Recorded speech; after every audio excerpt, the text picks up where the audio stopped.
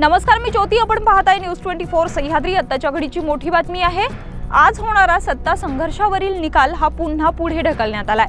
सत्ता संघर्षावरील पुढील सुनावणी ही आठ ऑगस्ट म्हणजेच सोमवारी होणार असल्याचं न्यायालयानं स्पष्ट केलं. त्याचबरोबर निर्णय होईपर्यंत पक्षाच्या चिन्हाबाबत कोणताही निर्णय घेऊ नये असे आदेश निवडणूक आयोगाच्या वकिलांना कोर्टाने दिलेत.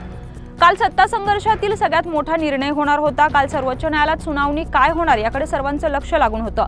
परंतु दोन्हीही पक्षांचा युक्तिवाद झाल्यानंतर पुढील सुनावणी आज होणार असल्याचं सर्वोच्च न्यायालयानं स्पष्ट केलंय.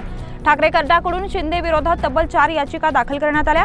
या याचिकेवरती गेल्या काही दिवसांपूर्वी सुनावणी पार पडली. त्यावेळेस दोन्ही बाजूने घमासान युक्तिवाद झाला. कोर्टाने दोन्ही पक्षांना पुढची तारीख एक ऑगस्ट अशी दिली होती. मात्र या तारखेत बदल होऊन ही सुनावणी तीन ऑगस्टवर म्हणजे कालवर आली. कालही शिवसेनेचं चिन्ह नेमकं कुणाला मिळू शकतं याचा देखील निर्णय होणार होता. परंतु कालही हा निर्णय आजवर येऊन ठेपला आणि आज देखील दोन्ही पक्षांचा युक्तिवाद झाल्यानंतर सत्ता संघर्षावर पुढील सुनावणी आठ ऑगस्ट म्हणजेच सोमवारी होणार असल्याचं न्यायालयानं स्पष्ट केलंय. त्याचबरोबर निर्णय होईपर्यंत पक्षाच्या चिन्हाबाबत कोणताही निर्णय घेऊ नये असे आदेश निवडणूक आयोगांच्या वकिलांना कोर्टाने दिलेत. या मोठ्या बातमीत आता इथेच थांबतोय. मात्र तुम्ही पाहत राहा न्यूज ट्वेंटी फोर सह्याद्री.